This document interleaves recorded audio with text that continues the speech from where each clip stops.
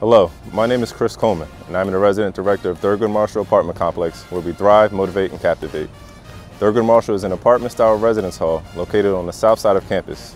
It is a non-traditional residence hall that consists of three buildings, which contain suites that are equipped with full kitchens, living rooms, and two bathrooms. Each suite has three to four double occupancy rooms.